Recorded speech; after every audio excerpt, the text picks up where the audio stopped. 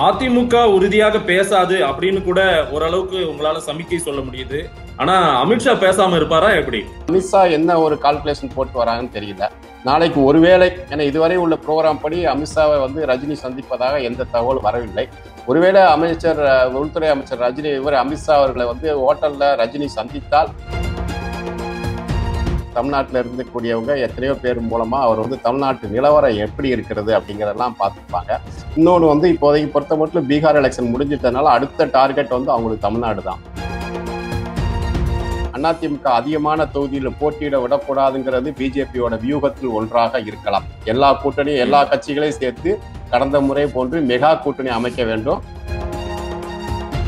அமித்ஷா வந்து ரஜினி கிட்ட வாய்ஸ் கேட்கிறாருன்னா எடப்பாடி முதல்வராக அறிவிக்கப்பட்டு எடப்பாடிக்கு வாய்ஸ் கொடுப்பாரா திரு ரஜினிகாந்த்.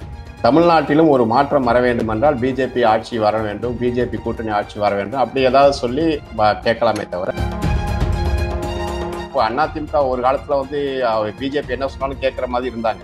ஆனால் இப்போ சமீப கால நடவடிக்கைகள் எல்லாமே பார்த்தீங்கன்னா பிஜேபிக்கு எதிராகவும் ச- பல முடிவுகளை எடுக்கிறாங்க.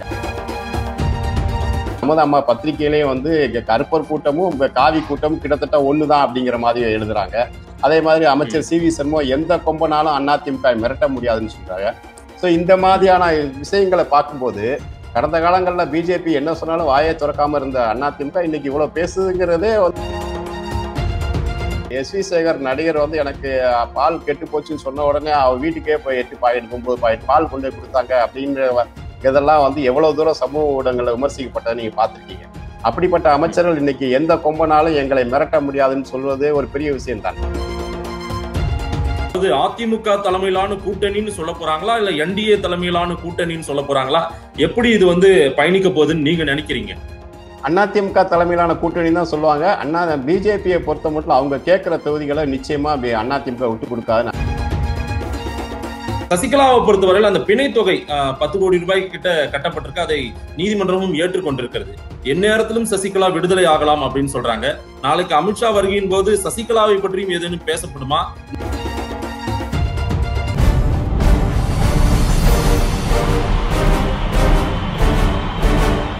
தமிழின் நம்பர் ஒன் அரசியல் யூடியூப் சேனலான ஆதன் தமிழ் நேயர்களுக்கு வணக்கம். கொடிப்பறக்குது நிகழ்ச்சியில் மீண்டும் உங்களை சந்திப்பதில் மிக்க மகிழ்ச்சி. பல்வேறு துறைகளில் ஆக சிறந்த ஆளுமைகளை சந்தித்து நாம் நேர்காணல் எடுத்து வருகிறோம். அந்த வகையில் இன்றைக்கு நாம் பார்க்க இருப்பவர் மூத்த பத்திரிகையாளர் கணபதி நம்மிடையே இருக்கிறார். அவரிடம் கேட்பதற்கு நிறைய இருக்கின்றன. வாருங்கள் அவரிடமே கேட்போம். வணக்கம் திரு கணபதி சார். வணக்கம். கணபதி சார் இன்றைக்கு உங்களோடு பேச இருக்கக்கூடிய தலைப்பு நாளைய தினம் அமித்ஷா பாஜகவின் மூத்த தலைவர் இந்தியாவின் உள்துறை அமைச்சர் வந்து தமிழகம் வருகிறார். நாளைய நாள் முழுவதும் அவர்தான் வந்து செய்தியாக இருக்க போகிறார். நாளைய தினம் அமித்ஷா வருகையையும் இன்றைக்கு அதிமுகவின் ஆலோசனை கூட்டமும்.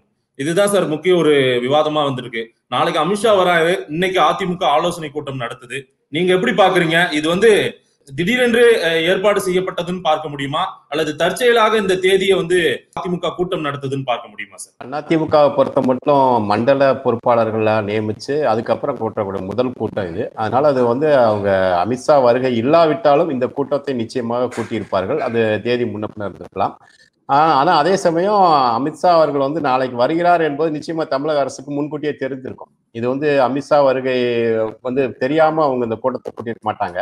அந்த நான் என்ன நினைக்கிறேன்னா இந்த அமித் ம- மண்டல பொறுப்பாளர்கள் இந்த ஆலோசனை கூட்டம் வந்து அதிமுகவில் அந்த பொறுப்பாளர்கள்லாம் நியமித்த உடனே முடிவு பண்ணியிருப்பாங்க பட் உள்துறை அமைச்சர் வருவதற்கு முன்னாடியே அந்த ஆலோசனை நடத்திட்டா நல்லது அப்படிங்கிறதுக்காக முன்கூட்டியே கூட வைத்திருக்கலாம். இல்லாவிட்டால் இன்னொரு ஒரு வாரம் கழித்தோ பத்து நாள் கழித்தோ கூட வைப்ப நடத்தியிருக்க வேண்டிய கூட்டத்தை முன்கூட்டியே கொஞ்சம் தேதியை முன்கூட்டி பண்ணியிருக்க வாய்ப்புகள் இருக்கு.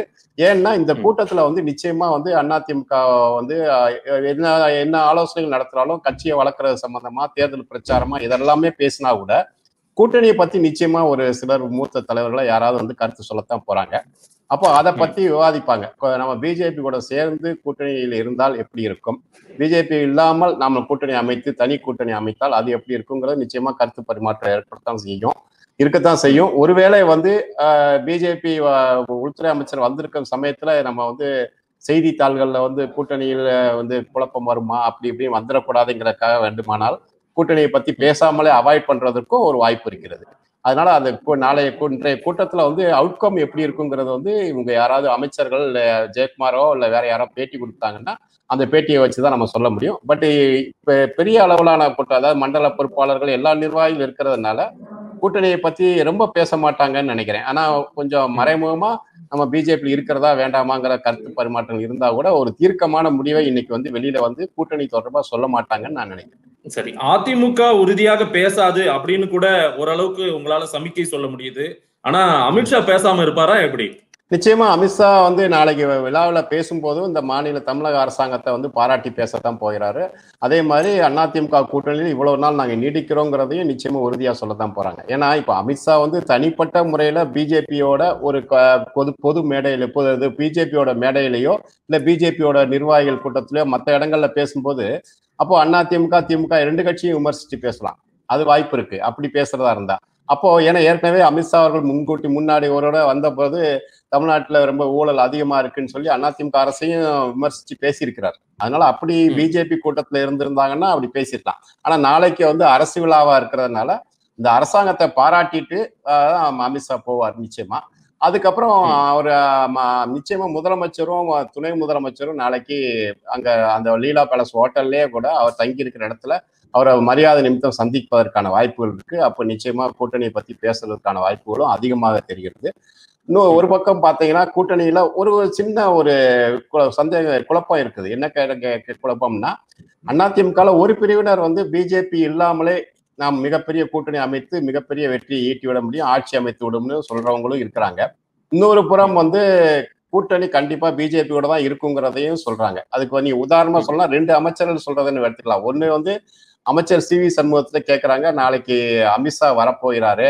அவர் வந்தா பார்த்து எல்லா கட்சிகளும் பயப்படுறாங்கன்னு மாநில தலைவர் பிஜேபியோட மாநில தலைவர் முருகன் சொல்லியிருக்கிறாரு. நீங்க என்ன சொல்றீங்கன்னு சொல்லி அமைச்சர் சி வி சண்முகத்தை கேட்டதுக்கு யார் வந்தாலும் எங்களுக்கு எதை பத்தியும் கவலை இல்லை. அதிமுகவை எந்த கொம்பனாலும் மிரட்ட முடியாது. பணி இது அப்படிங்கிற லெவல்ல பேசியிருக்காங்க. ஸோ அப்போ பிஜேபி எங்களை மிரட்டியெல்லாம் கூட்டணி சேர்க்க முடியாது. நாங்களாம் சேர்த்தாதான் உண்டு அப்படிங்கிற துணியில அமைச்சர் சி வி சண்முகம் சொல்லியிருக்காரு. அதுக்கு ரெண்டு மூணு நாளைக்கு முன்னாடி அமைச்சர் தங்கமணி பேசும்போது there is no change in alliance அப்படின்னு இருக்காங்க. அப்போ இந்த கூட்டணி அடுத்து வரும் தேர்தலில் தொடரும் அப்படின்னு உறுதியாக சொல்லியிருக்காங்க. ஸோ இது இரண்டையும் பார்க்க வேண்டியிருக்கிறது. இன்னொரு புறம் அமித்ஷா என்ன ஒரு கால்குலேஷன் போட்டு வராங்கன்னு தெரியல. நாளைக்கு ஒருவேளை ஏன்னா இதுவரை உள்ள ப்ரோக்ராம் படி அமித்ஷாவை வந்து ரஜினி சந்திப்பதாக எந்த தகவல் வரவில்லை. ஒருவேளை அமைச்சர் உள்துறை அமைச்சர் ரஜினி இவர் அமித்ஷா அவர்களை வந்து ஹோட்டல்ல ரஜினி சந்தித்தால் அது வேற ஒரு விதமான ஒரு அரசியலை சு- சுட்டி காட்டும் அப்போதான் அதிமுக அந்த அணியில் இருக்குமா இல்லையாங்கிறத நாளைய நிகழ்வுகள் எல்லாமே வந்து நமக்கு சுட்டி காட்டும் இன்றைக்கு நடக்கக்கூடிய அதிமுக ஆலோசனை கூட்டத்துல ஒரு வெளியில வந்து இதுதான் கூட்டணி இப்படிதாங்கிறத அப்படி எதுவும் உறுதிபூர்வமா உறுதியான ஒரு க- கருத்தை வந்து சொல்ல மாட்டாங்க. நாங்க வழக்கமான தேர்தல் பணிகளை ஆலோசித்தோம்னு தான் சொல்லுவாங்கன்னு எதிர்பார்க்கிறேன். இல்ல இதுல குறிப்பா அமித்ஷாவினுடைய வருகையை பற்றியும் அங்கு பேசப்படும் இல்ல சார் ஏதேனும். அமித்ஷா கூட்டணி பத்தி பேச்சுவார்த்தை ஏதேனும் நடத்தினால் நாம என்ன மாதிரி அவருக்கு வந்து பதில் கொடுக்க வேண்டும் அப்படின்ற மாதிரி கூட ஒரு பேச்சுவார்த்தை இருக்கும்ல இன்னைக்கு ஆலோசனை கூட்டத்துல அதில் இருக்கு நிச்சயமா இருக்கும். மூத்த தலைவர்லாம் இருக்கிறதுனால அது நிச்சயமா இருக்கத்தான் செய்யும். பட் அது வந்து என்ன பண்ணுவாங்கன்னா ஒரு பக்கம் யோசிப்பாங்க. ஏன்னா அமைச்சர் உள்துறை அமைச்சர் வந்திருக்க சமயத்துல அவர் ஒரு அரசு வந்திருக்க சமயத்துல இந்த கூட்ட இவங்க இவங்க நடத்துற ஆலோசனை கூட்டத்துல எதிர்மறையான சில கருத்துக்களை யாராவது சொல்லியிருந்தாங்கன்னு வைங்களேன். பிஜேபி கூட சேரவே கூடாது. பிஜேபியை நம்ம விட்டு விலகி வரணும் அப்படின்னு பேசி அது நாளைக்கு பத்திரிகைகள்ல அவங்களுக்கு அவர் அமித்ஷா அவர்கள் வரும்போது பத்திரிகைகள்லாம் அது மாதிரி ஒரு சலசல ஏற்ப வந்துச்சுன்னா அது கூட்டணிக்குள்ள ஒரு சலசலப்பை ஏற்படுத்தும். அதை வந்து நிச்சயமா வந்து அவர் முதலமைச்சரும் சரி துணை முதலமைச்சரும் விரும்ப மாட்டாங்க. அதனால வந்து இன்னைக்கு கூட்டணியை பட்டும் படாமலும் தான் பேசுவாங்க. பட் என்னன்னா கோடிட்டு காட்டப்படும் இன்னைக்கு பேசுற கூட்டத்துல வந்து அந்த மாதிரி நம்ம பிஜேபியோட தொடர்ந்து சென்றால் அவங்களுக்கு எவ்வளவு சீட் கொடுக்கறது அப்படிங்கிற மாதிரியானது ஏதாவது ஏதாவது மறைமுகமா நம்ம வந்து நம்ம தான் லீட் பண்ண போறோம் கூட்டணியை. பிஜேபி நம்ம நம்ம கண்டிஷன்ஸ்க்குலாம் ஒத்து வந்தாதான் நம்ம கூட்டணி தொடர போறோம். அப்படிங்கிற மாதிரியான தகவல்களை வந்து முதலமைச்சரோ துணை முதலமைச்சரோ தங்களோட பேச்சுல வந்து சுட்டி காட்டலாம் இன்னைக்கு ஆலோசனை கூட்டத்துல. சோ எனவே வந்து இப்போதை உள்ள சூழல்ல பார்த்தாக்கல ரஜினிகாந்த் அவர்கள் வராவிட்டாலோ இல்ல வேறு ஒரு புதிய யுக்தியை பிஜேபி கையில் எடுக்காவிட்டால் நிச்சயமாக அதிமுக கூட்டணி தான் தொடருவாங்க. இவங்க அதிமுகவும் அந்த பிஜேபி கூட்டணியை அவ்வளவு சீக்கிரமா விட்டு வெளியேறி வரமாறுங்கள் அப்படின்னு நான் நினைக்கிறேன். சார் இதுவரையில வந்து ரஜினி சந்திப்பு இருக்கான்றது வந்து இந்த அட்டவணையில கூட இடம்பெறல. அமித்ஷாவினுடைய அட்டவணையில வந்து ரஜினி சந்திக்க போறதாவோ இல்ல அமித்ஷாவை ஹோட்டல்ல போய் ரஜினி சந்திக்க போறாரு அப்படின்ற தகவலும் இல்ல. நாளைக்கு அதற்கான வாய்ப்புகள் முகாந்தரம் ஏதேனும் தோன்றுகிறதா? இன்னைக்கு ஏதேனும் அந்த மாதிரி மெசேஜஸ் உங்களுக்கு ஏதேனும் தகவல்கள் கிடைச்சிருக்கா சார்? இல்லை எனக்கு தெரிஞ்சு அவர் அப்படி ஒரு சந்திப்பு இருக்கிறதா வந்து இதுவரையும் சொல்லலை. ஆனால் வந்து நாளைக்கு சடனாக கூட ஏற்படலாம். யாருக்குமே தெரியாமல் ஒரு ரகசியமாக கூட திடீர்னு இந்த ஒரு முடிவு எடுத்திருக்கலாம். அவங்க நமக்கு தெரியாமல் இருக்கும் வெளியில் தெரியாமல் இருக்கலாம். அப்படி ஒரு முடிவு கூட இருக்கலாம். ஏன்னா சமீபத்தில் கூட ஒரு துக்ளக் ஆசிரியர் குருமூர்த்தி போய் ரஜினிகாந்த் சந்திச்சு வந்திருக்காரு. அதுக்கப்புறம் கண்டிப்பாக ரஜினி அரசியலுக்கு வருவார்னு ரஜினியோட அண்ணனே வேற சொல்லியிருக்கிறாரு. ஸோ இந்த மாதிரி சூழல்லாம் பார்க்க வேண்டியிருக்கு. அதனால வந்து நிச்சயமா ரஜினி வந்து திடீர்னு எதிர்பாராத விதமா போய் லீலா பேலஸ் ஹோட்டல்ல அமித்ஷா அவர்களை சந்திச்சு பேசுறதுக்கான வாய்ப்புகளும் இருக்கு.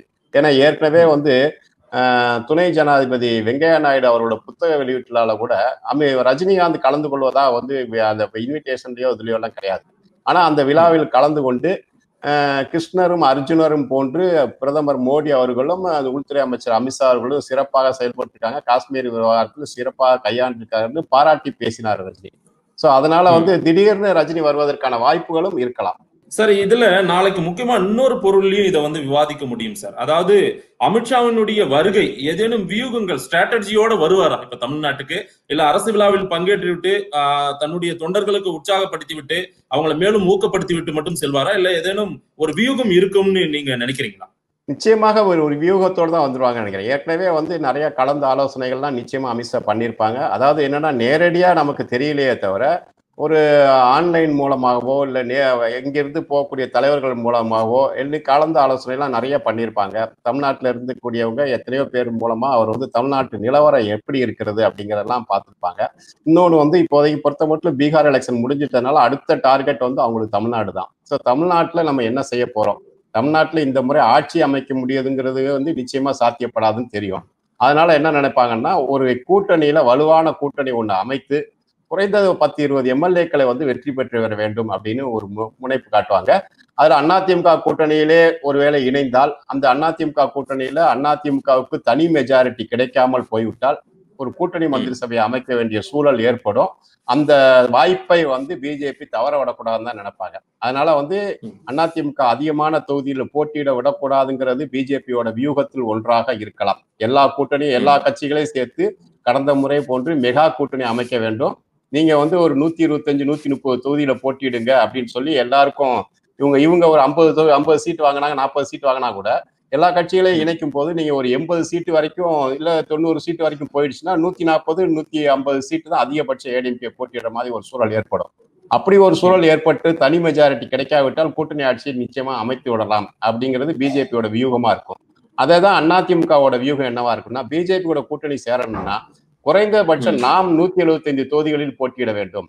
நூத்தி எழுபத்தைந்து தொகுதிகளில் அதிமுக போட்டியிட்டு மீதி உள்ள தொகுதிகளில் எல்லாருக்கும் பிரித்து கொடுப்பது என்றால் பிஜேபியை கூட்டணியில் சேர்த்துக் கொள்ளலாம் அப்படின்னு அதிமுக நினைப்பாங்க. சோ இப்போ அதிமுக எத்தனை தொகுதிகளில் போட்டியிட போகிறது? பிஜேபிக்கு எத்தனை தொகுதிகளை குட்டு கொடுக்க போகிறார்கள்? அப்படிங்கிற ஒரு கட்டத்துல தான் வந்து அதிமுகவும் பிஜேபியும் வேறுபடுமே தவிர அப்படி இல்லாத பட்சத்தில் அவங்க கூட்டணி வந்து நிச்சயமாக உறுதியாக அந்த கூட்டணி தொடரத்தான் வாய்ப்புகள் அதிகம். ஏன்னா ரஜினி வந்து வருவதுங்கிறது வந்து இன்னைக்கு வரைக்குமே ஒரு சந்தேகத்துக்குரியதா இருக்கு.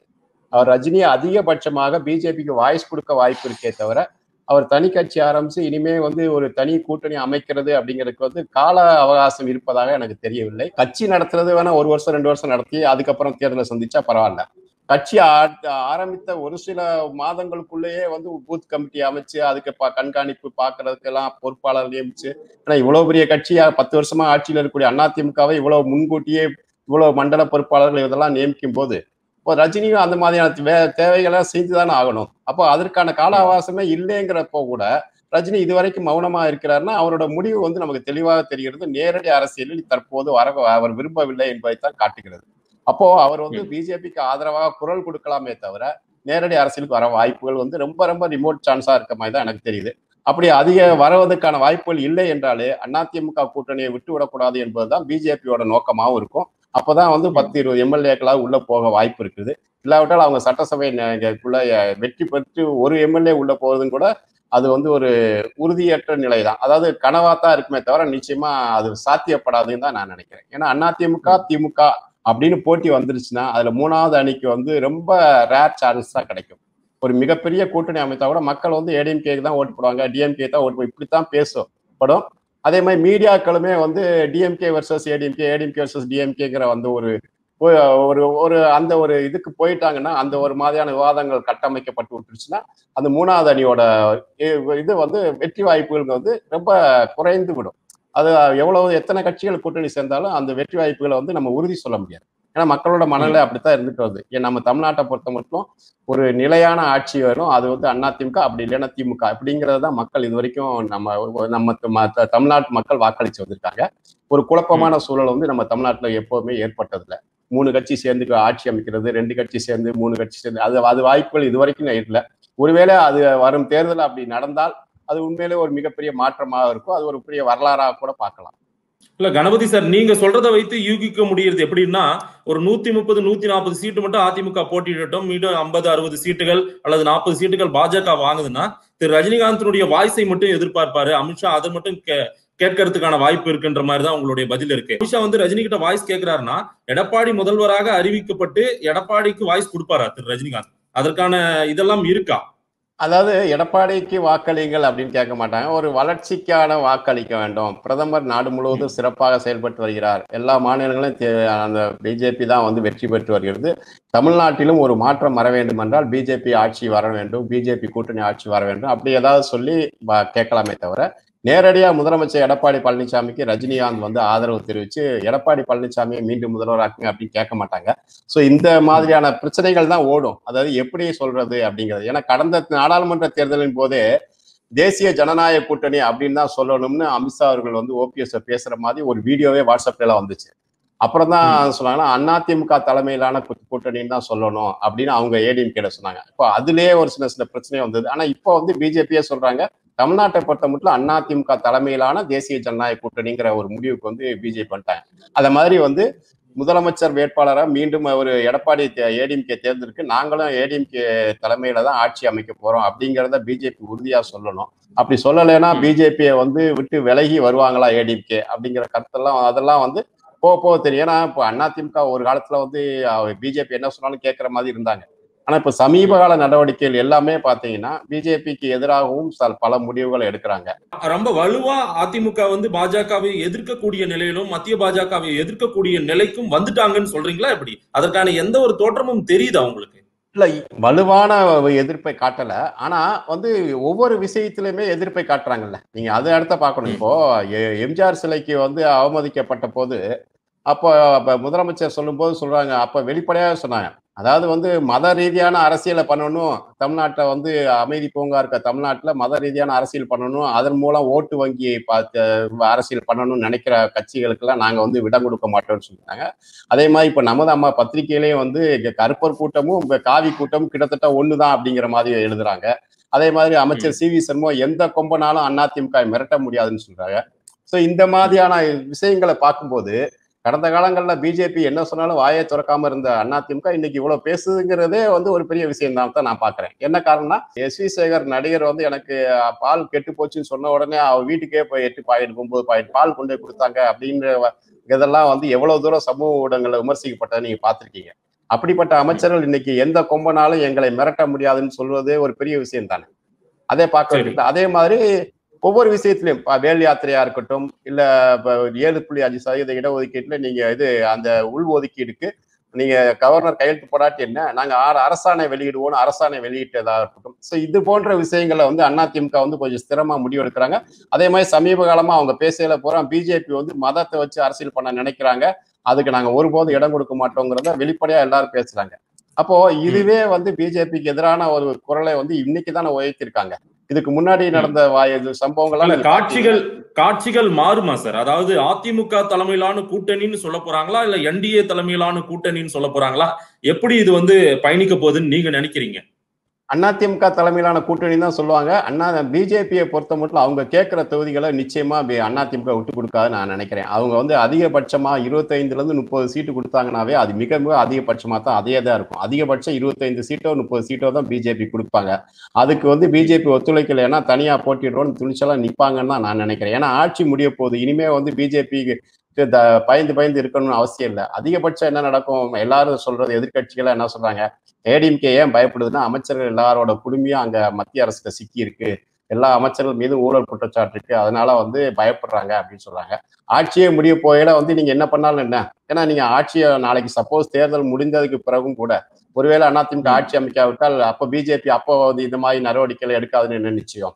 அது நீங்க ஆட்சி இந்த- பேட்டியை பார்க்கக்கூடிய மக்கள் என்ன கேட்பாங்கன்னா அந்த சூரசம்காரம் நாளைக்கே நடத்துவாங்களா பாஜகவை எதிர்த்து அமித்ஷா நாளைக்கு வரும்போதே அந்த சூரசம்காரம் நடக்குமா? இல்ல இன்னும் ஏழு மாசம் தேர்தலுக்கு கிட்டதான் அதெல்லாம் நடக்குமான்னு கேட்பாங்க. இல்ல. நாளைக்கு நிச்சயமா நாளைக்கு நிச்சயமா எதுவும் நடக்காது. ஏன்னா அவர் வந்து தமிழ்நாட்டுக்கு வந்து ஒரு அவர் ஒரு கெஸ்டா தான் வரார். அமைச்சர் உள்துறை அமைச்சரா ஒரு மத்திய அரசாங்கத்தின் ஒரு மூத்த அமைச்சராக தான் அமித்ஷா அவர் வராங்க. தமிழ்நாடு அரசு சார்பிலாக விழா நடத்தப்படுது.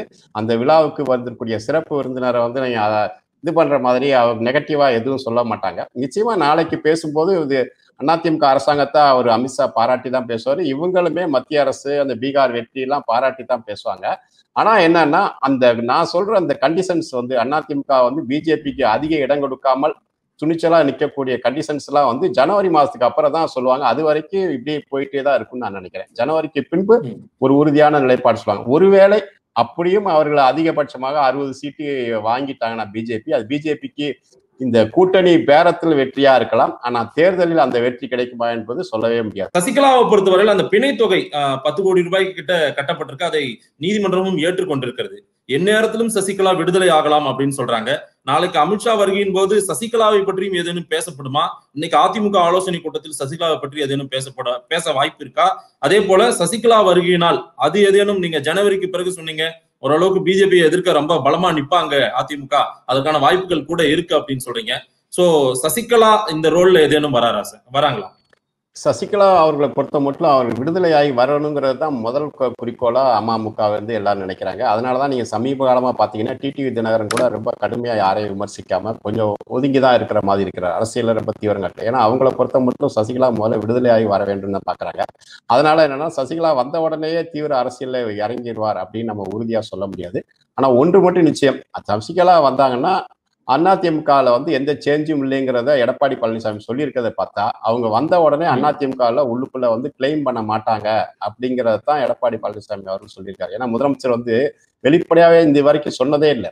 திருமதி சசிகலாவை பத்தி ஒரு வார்த்தை கூட சொன்னதில்லை. ஆனா இந்த முறை என்ன சொல்றாங்கன்னா சசிகலா விடுதலை ஆவதற்கும் அதிமுக கட்சி விடுதலை ஆவதால் அதிமுக கட்சிக்கோ கட்சியிலோ இல்ல ஆட்சியிலோ எந்த மாற்றமும் இருக்காது அப்படின்னு வெளிப்படையா சொல்லியிருக்காரு. அப்படின்னா என்ன அர்த்தம்னா சசிகலா வந்தாலும் கூட அவங்க அரசியல்ல நேரடியா வரமாட்டாங்கங்கிறது வரமாட்டாங்க. இல்ல அதிமுக கட்சிக்கும் அவங்க வந்து எந்த வகையில பாதிப்பு ஏற்படுத்த மாட்டாங்க அப்படிங்கறத அவர் சொல்றாரு. அப்போ வ- வரமாட்டாங்கன்னு அவர் எப்படி உறுதியா சொல்றாருன்னா அதிமுக கிளைம் பண்ண மாட்டாங்கங்கிற நம்பிக்கை அவருக்கு இருக்கிறதுனால தானே சொல்றாரு. அப்போ என்ன ஆகும்னா சசிகலா அவர்கள் வந்து அதிமுக கிளைம் பண்ணாம அமமுகவுக்கு ஆதரவா பேசுவாங்களா பிரச்சாரத்துக்கு போவாங்களா அப்படிங்கிற கேள்வி அடுத்து வரும். ஆனா அது வருவாங்களா இல்லையாங்கிறதெல்லாம் வந்து இப்போதைக்கு நிச்சயமா இருக்காது. ஒருவேளை சசிகலா அவர்கள் வந்தாலும் கூட ஜனவரி வரை அவரும் நடக்கக்கூடிய விஷயங்கள் எல்லாம் பார்ப்பாரு. எப்படி கூட்டணிகள்லாம் அமையுது அதிமுக எந்த திசையில போகுதுன்னா பார்ப்பாங்க. ஒருவேளை பிஜேபியை உதறி விட்டு அதிமுக வந்தால் அன்றைக்கு வந்து சசிகலா ஒரு பிரச்சாரத்துக்கு ஒரு மிக முக்கிய பலமான ஒரு ஆளாக தான் இருப்பாங்க. அவங்க நேரடியா கட்சிக்கு தலைவர் பதவியோ அல்லது தேர்தலில் போட்டியோ பண்ண விட மா- மாட்டாங்க. ஏன்னா அவங்களுக்கு அதற்கான வாய்ப்பும் கிடையாது. ஏன்னா தண்டனை பெற்ற கைதி அனுபவிச்ச கைதிங்கிற தண்டனை அனுபவித்தவர் என்ற காரணத்தால் அவர் தேர்தலில் போட்டியிடவோ இல்லை கட்சி தலைமை ஏற்கவோ முடியாது. ஆனா பட் அவர் அந்த பிஜேபி விட்டு அதிமுக விலகி வந்து அவர் சசிகலா உதவியை நாடினால் நிச்சயமா அவர் பிரச்சாரத்தின் போது மிக பலமான ஒரு ஒரு வாய்ப்பை ஏற்படுத்தி தருவாங்கன்னு நான் நினைக்கிறேன். அப்படி இல்லாவிட்டால் ஒருவேளை அதிமுக பிஜேடி கூட்டு பிஜேபி கூட்டணி அமைந்து அமமுகவுக்கு ஆதரவாக சசிகலா பிரச்சாரம் செய்ய முடிவெடுத்தால் அது வந்து தமிழக அரசில் மிகப்பெரிய ஒரு மாற்றத்தை ஏற்படுத்தும் அப்படிங்கிறது மட்டும் நிச்சயம். பார்க்கலாம் என்ன நடக்குதுன்னு. இணைப்பில் வந்து பேசியமைக்கு நன்றி திரு கணபதி சார். நன்றி. நன்றி நேர்களே மீண்டும் ஒரு கொடி பறக்குது நிகழ்ச்சியில் சந்திப்போம். நன்றி வணக்கம்.